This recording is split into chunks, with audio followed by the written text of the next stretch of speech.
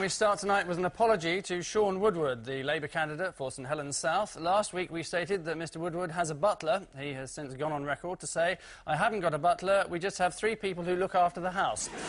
Our apologies, therefore, to Mr Woodward, his pastry chef, scullery maid and chimney sweep. In the news this week, Railtrack are proud to announce that Britain's railway services are now running as normal.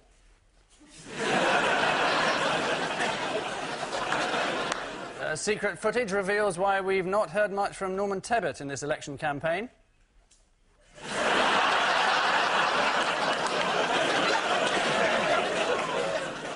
and in London, Cow and Gate decide to withdraw chicken vindaloo from their range of baby foods.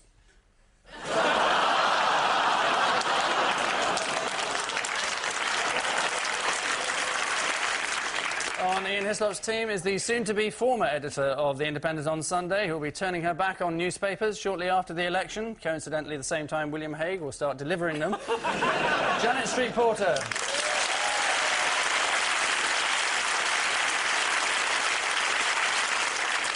With Paul Merton tonight is a rock star who, back in the 70s, made history with 12 top 10 albums, 15 gold discs, and countless world tours, something of which he's justifiably proud, or would be if he could remember any of it. Elton John.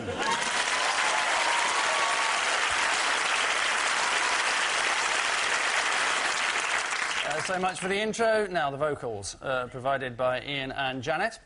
Uh, who are these people? Tony Blair holding a little memo pad. Oh, it's the press. It's, it's, It's there Meet for- the People. I'm sorry, it's Meet the People. He's not allowed to speak. He's not allowed to speak. This is the election campaign where very few people have spoken. I think that's John Prescott's five election pledges.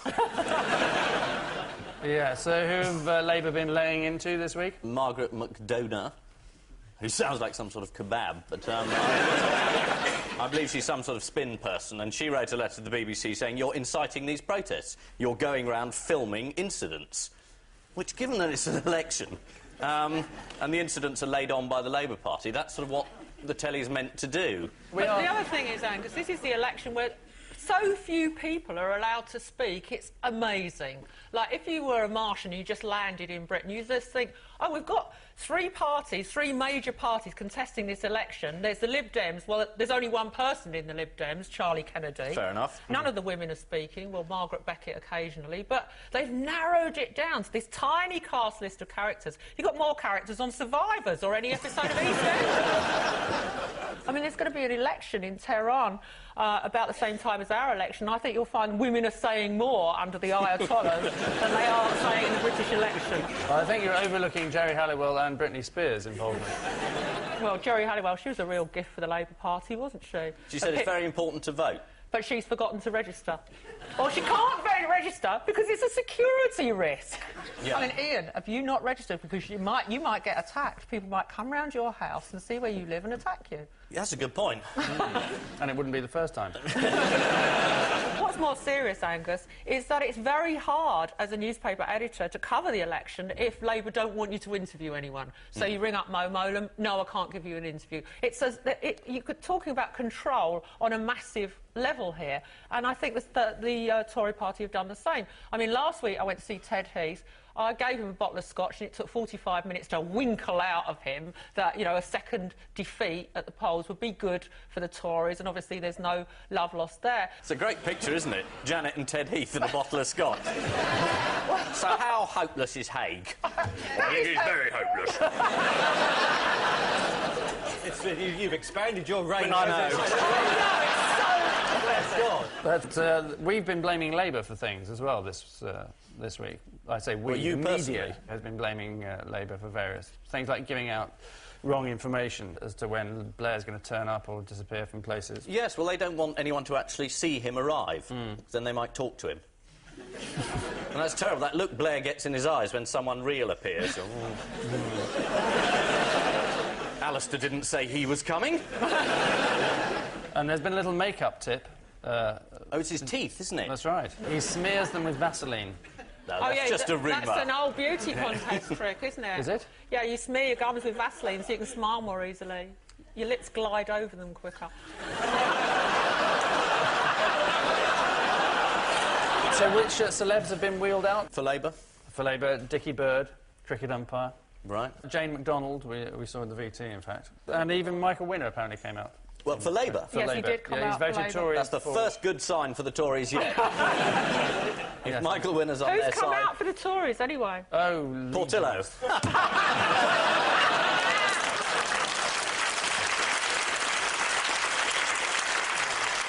Yes, this is the uh, escalation of hostilities as uh, Labour's campaign hits its stride. This week, Millbank have publicly accused the BBC and ITN of colluding against the Labour Party, although the BBC strenuously deny any antipathy towards Uh, During Mr Blair's visit to a hospital in King's Lynn, a senior Labour aide allegedly unplugged a news camera. Uh, strangely, the camera kept rolling, as indeed did the eyes of the woman on the life support machine. Paul and Elton, your stiff opposition. That's William Hague. Let's put Tiller, don't stand in front of that target. um, Margaret Thatcher, the mad old batter's risen. and Charles Kennedy, and he's hitting a piece of nail into a piece of wood. Um, it's such a dangerous occupation, he's got a hard hat. in case the nail should spring out of the wood and pierce his skull. So, Mrs Thatcher, you noticed her. I- Yes, I didn't see the speech, but she made a very funny joke, didn't she? We can show you the joke. Okay, you can let's judge have for a look. yourselves. All right. On my way here, I passed a local cinema, and it turns out that you were expecting me after all, for the billboards read, The Mummy Returns.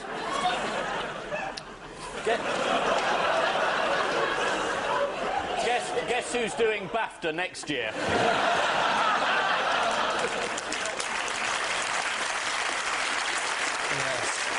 She might have thought it was sort of the mummy returns with William Hague as her son. Right. You never know whether she's got the joke or not, do you? Okay, you think there might be a subtext to the joke that renders it amusing? Well, I don't suppose the joke writer said this is a joke about you being half dead and bandages falling off you. You've come back to haunt the party. I don't. I'll do it. Yeah. So, uh, Edward Heath, you interviewed him. Yes, and the thing about interviewing Ted Heath is it's not what he says, it's that amazing face and how it all moves around. And I said in the interview, he's got more facial expressions than Danny La Rue because what he doesn't say, and it's all those eye winking and twinkling and moving of the. Ju- that's what, what that's what's good to write about. But You fancy him, don't you? I, I do not fancy Ted Heath. I know I have weird taste, Angus.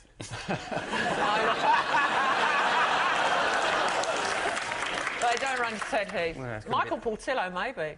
Mm, it's a bit of a pin-up. That- that He's a bit of a pin-up. Pretty weird. Um, He's so gorgeous in a cardigan, so almost cuddly.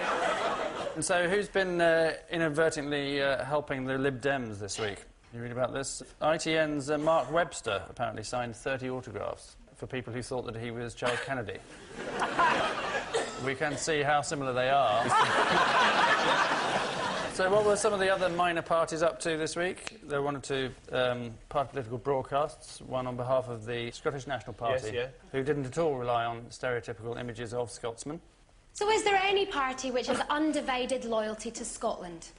A party that won't desert its principles or take its orders from London? There is one. The SNP. well, there's no doubting their credentials.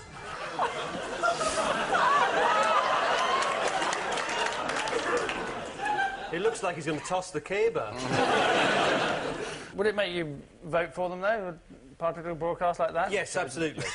where, do I, where do I put the cross?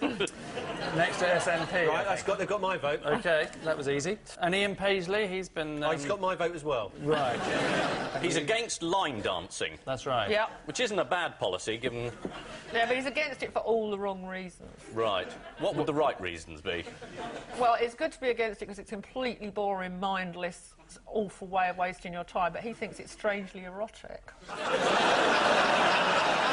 Can we talk about the candidates that I'm really interested in? All those parties like, what's this bird called Jordan with these enormous breasts that's in the paper that's going to stand as a candidate in Or my if she can stand. She's standing as an MP, which the uh, Daily Star helpfully points out uh, means Member of Parliament, not massive pair.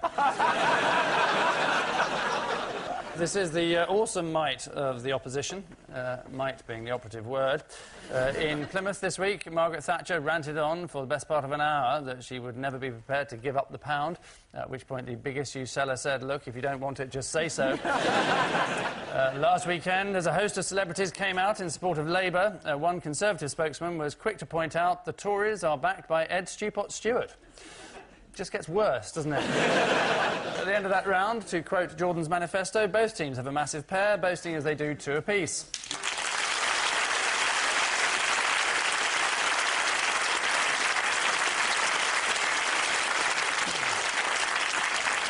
And so to those tiny incidental stories that are tucked away in the depths of the broadsheets and blazoned across the front pages of the tabloids. Paul and Elton, your amusing turn. What a pair of Charlies. I think this is about Prince Charles and Philip, isn't it? About the fact that uh, it's the uh, Prince Philip's 80th birthday coming up, a nation celebrates dancing in the streets. Um, him and Charles don't really get on particularly well. There's a rift between the two of them. There's also sort of the idea that maybe he'd sort of like Prince Philip had kind of pushed and heavily manoeuvred uh, Charles into the marriage to Di. What's Phil said about Charlie? Well, he said he's useless. He'll be, didn't he? He said he'd be useless. Yeah. He said useless. He'll be a useless, terrible king. He said Precious, terrible, extravagant, and lacking in the dedication to make a good king. terrible king. Yeah. Yeah. Unlike, Says someone. unlike this a marvellous success story that Prince Philip's been for the last 60 years. There was an official denial. The palace said this isn't true. Right. I don't think anybody thought it was because it was all in the mail. And how has Philip been celebrating his 80th birthday? the bumps. Have you gone to some concert at Royal Albert Hall? Almost as ridiculous. Uh, yes, a concert by Hear'Say. Yes. Can we still get tickets? The concert was last night, because on the night of his birthday, he's having a meal. Or takeaway? Yeah. Maybe having a Chinese. He's always welcome at the Bamboo Palace. I'm sure it's about Chelsea Flower Show and Charlie Dimmock and Prince Charles. They both had gardens. Prince Yeah. Charles had a strange garden based on an Islamic carpet. Right. Although how you make flowers go geometric, I don't know. Maybe he talks to them for hours and bores them into being geometric. I don't know about Charlie Dimmock. Did she have a garden? She must have been there. She must have been there. Wouldn't be the um, Chelsea Flower Show You without the... obviously haven't been watching the coverage on BBC then, because she does actually present it. Oh, really? Yes. I've got she better spoke things to, to do, him. Angus. I'm editing hmm. a national newspaper. I'm not right. tuning into Charlie Dimmock Terribly going on about plants in the middle We of the We didn't realise no one's read it. Yes, this is uh, another week in the life of the royal family. Uh, the row between Philip and Charles is the latest emotional upheaval to hit the royals. According to the Express, the Queen and Philip often give each other a terrific mutual tongue lashing. nice to know they still enjoy that sort of relationship after 54 years of marriage. Ian and Janet, your uh, top spin reveals no crick fix. Uh, this has got to be about Lord Condon's report about corruption in cricket. I think that the Crick? Who's ever called it crick? Look, uh, Fancy well, a I- game of crick? That's the Daily Mirror's word for cricket. It's fascinating, isn't it? Paul Condon, while he was head of the police, I think corruption uh, was widespread, and now he's been charged with sorting out corruption in cricket, Hmm. and uh, he doesn't seem to be having any more success. He's had six months, this um, policeman, to um, interview Alex Stewart, uh, the England um, cricketer, but he's been unable to do so. Apparently, Stewart's been playing some game or other um, around the world. He's know him managed to identify this bookmaker in India called Mr. Big. Um, which again is pretty good police work. Um, not many Mr. Bigs in the phone book in Delhi, but he's responsible for it all. And there you go. What are the various things that you can bet on in crick? You can bet on the number of overs, you can bet on batsman's individual total, you can bet on the number of catches. Who wins the toss you can bet on? Right. How would that be fixed? Well, if I'm you toss sure the coin out and put to. your foot on it and say, yeah, it's heads. Mm-hmm. Yeah. Wouldn't that be suspicious to the other players? Not to Paul Condon, no. And do you know what a Sunday sandwich is? Yeah. Do you? Yes. Well, let's move on then. Did you see that show Puppetry of the Penis? Interestingly, not. No. That's one of those links, Janet, that's so effortless. Well, in The show's still on. I thought it'd been pulled off. Surely. it's-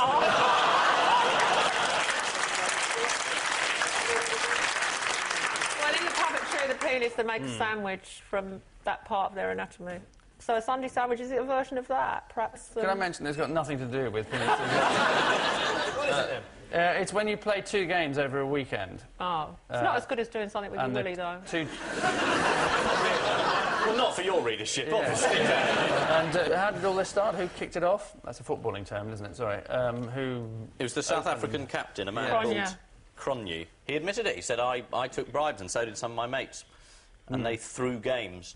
And who did he blame it on? The boogie.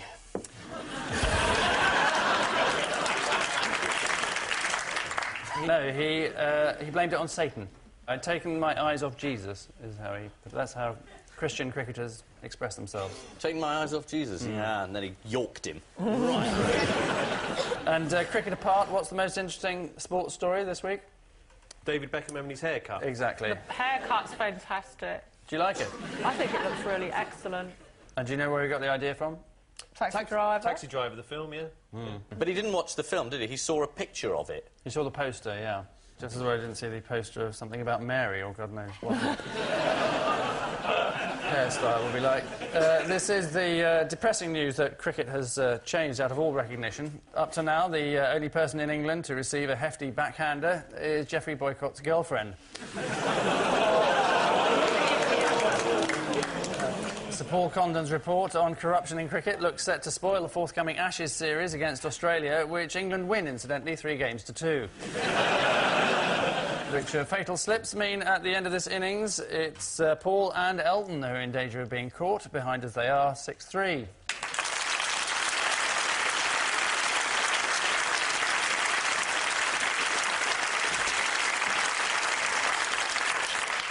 Uh, four possibilities with one odd one. Uh, that's our panel, who now have to play odd one out. Just one per team this week. Paul and Elton. Your four are these five. Uh, Sean Connery, Geri Halliwell, the Hinduja brothers, and Lord Gilbert of Dudley. Is it about voting? Because you mentioned Geri Halliwell earlier. She's not allowed to. Well, she, she didn't register on the electoral roll, so she can't vote in this country. And uh, I think Sean Connery, of course, he's famously uh, supports the Scottish nationalists, but he lives uh, overseas on the Bahamas, I think. So he presumably he, he's not a voter.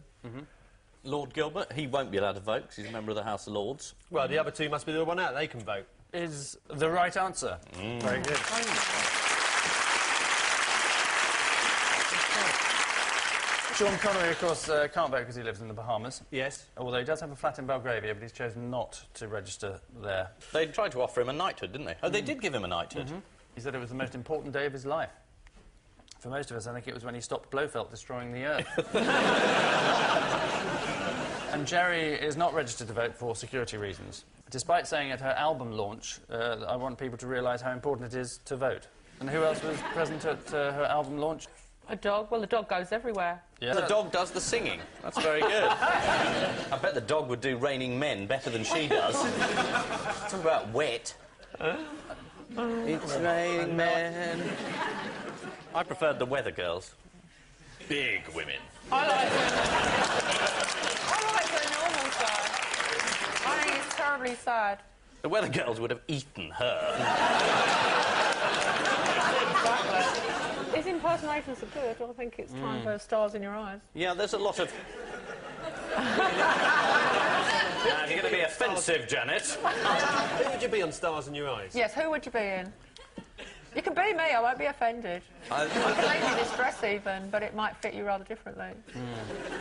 I think I'd come up to about the waist. The uh, Hinduja brothers are the odd ones out, yes, as you mentioned, uh, because they, uh, they can vote. And how does uh, Tony Blair refer to the Hindujas? he, he avoids the subject, doesn't he? He says, let's move on, this is all history. Yeah. Whenever anyone says anything, he says, let's move on, let's move on, let's move on, it's all over. it's history, we don't want to talk about this, let's move on. Dangerously close to an impersonation. No, no, it's just. Have you got a bit of Rory Bremner in you? I hope not. Uh, he refers to them as GP and SP, or at least he did in a letter of the 15th of June 1999, uh, where he said, Dear GP, thank you for your letter of the 21st of May welcoming the appointment of Keith Vaz to a ministerial post within government. And then he signs it, Yours ever, Tony. there was a whole inquiry into the Hinduja affair, and Blair didn't declare these letters. He said he'd had no contact with them, apart obviously from writing them friendly letters saying, yours ever, Tony. Trust him, he's a regular guy. he just has big memory lapses about Indians. Yes, it, uh, the answer is that they've all been uh, unable to vote, uh, or will be unable to vote in the general election, except the Hinduja brothers, uh, who've been allowed to leave India to do so, pending the bribery and corruption trial. Uh, over the years, the Hinduja brothers' friendship has almost come to be regarded as an endorsement of a politician's standing, as can be seen by their relationship with Tony Blair, William Hague, and Charles Kennedy.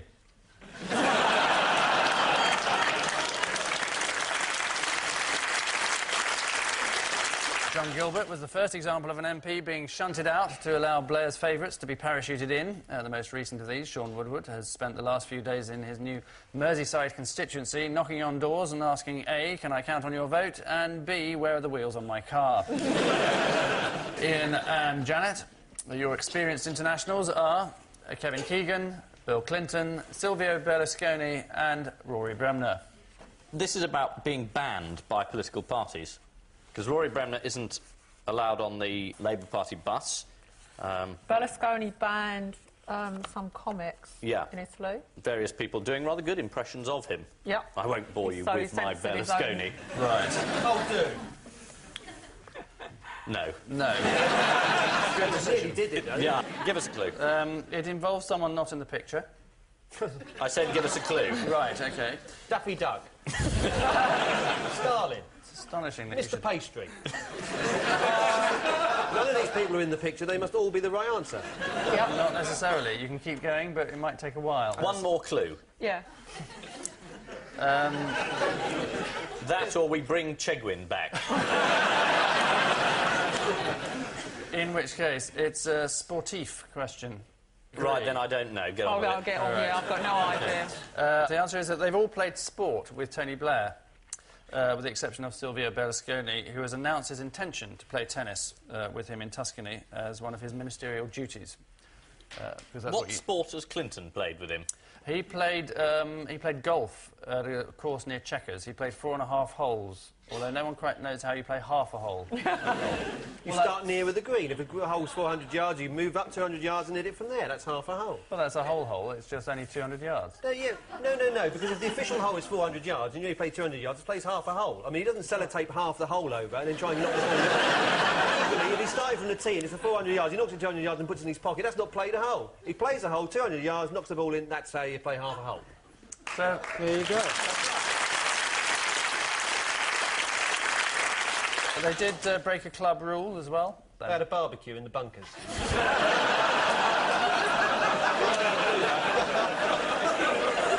Uh, they didn't wear golf shoes. People are actually strung up. punishable by death. President Clinton is a very keen golfer, although in his case, check trousers is more a reminder than a golf item. In a recent interview, in a recent interview, Blair's former tennis partner, Rory Bremner, bemoaned the state of British politics before apologising, saying, God, I sound like Victor Meldrew. Well, it's the first time for everything. uh, which volley of abuse means at the end of this exercise, uh, Paul and Elton are a little behind on points, trailing as they are 6 5.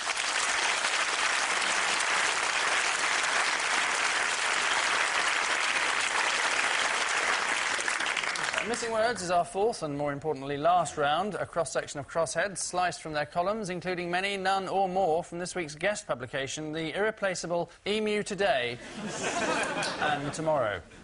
Uh, obviously, the result of a merger between Emu Today and Emu Tomorrow. You wait for Emu on Sunday. So, uh, to your marks, four. Wogan blasts what? Into outer space. He's going to Neptune.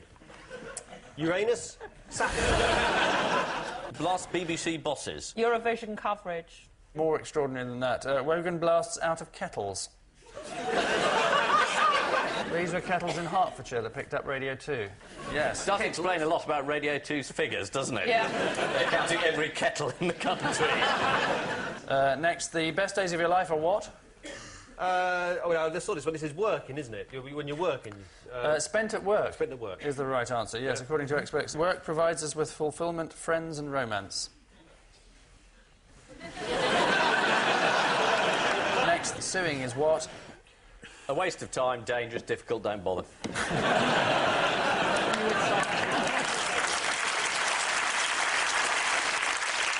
The answer is actually simply bad manners.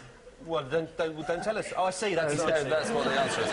And as there's a guest who uh, fell through a glass seat at a friend's dinner party uh, and sent her a note suing her for £200 Oh, God, yeah. under the Occupiers Liability Act for providing defective seating. Next, get the most from what? Your emu. Emus. Petting your emu. This is very worrying because it is actually your emu.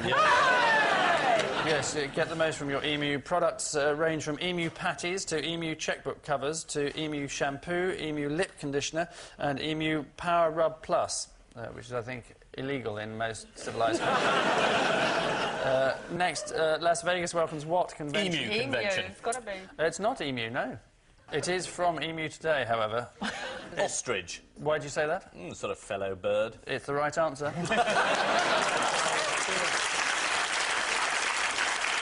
the answer is ostrich. The advantage of ostrich meat apparently is that it's lower in cholesterol. Uh, the disadvantage being, of course, that it tastes of ostrich.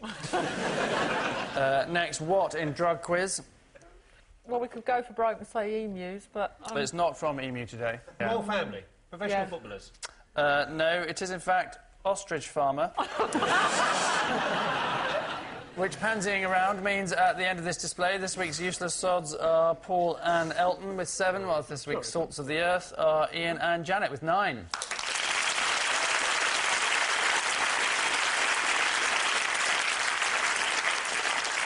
So, a magnum of champagne to our winners, a magnum ice cream to our losers. Oh, good. I'd like one of those. Good. Have you got it now? Uh, later, afterwards, I thought, maybe. Otherwise, it would melt under the lights. Uh, but obviously, under the lights, where else would it melt? Uh, In but an oven. yes, outside. Mm-hmm. Hot day. between our legs.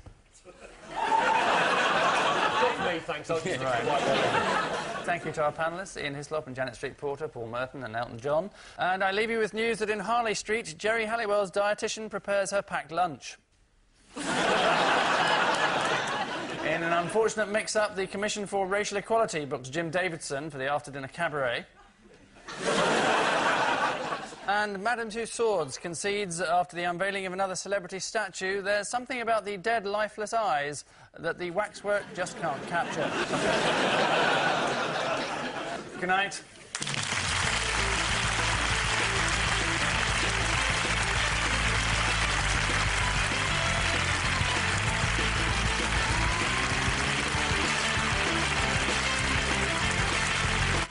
Ah, don't worry, there's plenty more laughs on the way. We're heading even further back in time next in UK TV documentary. Have I Got 2000 for You is on the way in just a few moments.